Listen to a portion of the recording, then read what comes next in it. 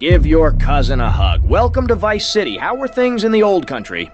I have a buyer for a piece of military hardware that is being taken. This is my cousin Tommy, Tommy Vercetti. I'm sure you heard about him. And this, this is me, Stefano Vercetti. In the old country, things weren't going so well for me, and my cousin Tommy told me there's a lot of work in Florida.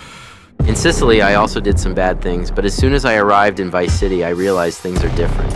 I really thought I could live a normal life.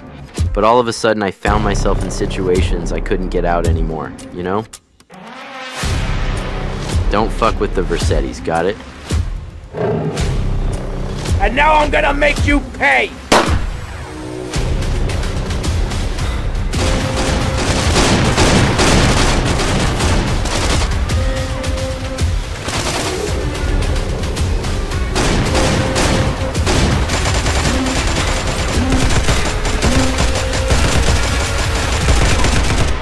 Stefano, when are you leaving? I don't know. Uh, I think I might stay.